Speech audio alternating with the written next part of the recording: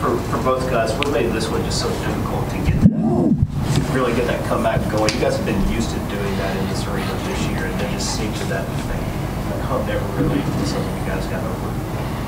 Uh, I mean, we just started out too slow.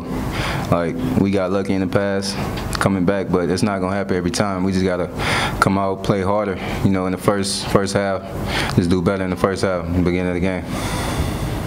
Just down the stretch there, you know, back and forth, they hit a three, and y'all hit a three. Jared was hot there late. Just you couldn't pull away there at the end, but kind of what y'all seen on the stretch where it's just kind of so tough to pull away there.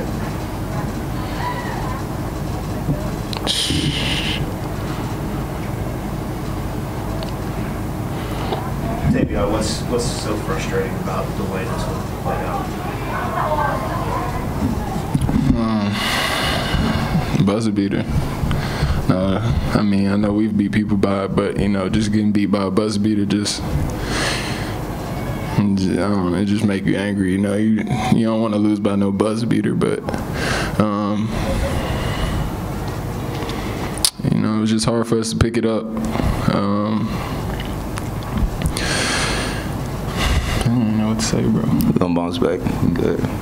What's that? We're gonna bounce back. That's the only thing we can do. Defensively, I mean, they were able to really move the ball. They had 17 assists, and they were able to make a lot of timely shots. What was that just one of those where you, you tip your hat to them by making those shots, or were, were there things defensively that you guys knew were kind of struggles tonight? Both.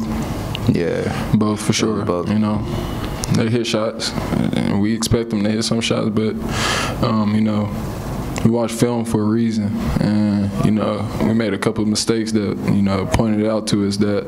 Um, that uh, told us like what we seen on film at the end of the game. Both of them plays we went over multiple times. You know, um, you know it's just more of taking it in. We got to see those things. What does this one just do moving forward? You got until next Thursday to get and you're here. It's going to be the last home game. Just things are moving now in the conference, just as far as standings and teams that you're playing are, tough. Just what does this one? It seems like this one just hurts more than maybe some others that you have across. I think we just disappointed because how we came out.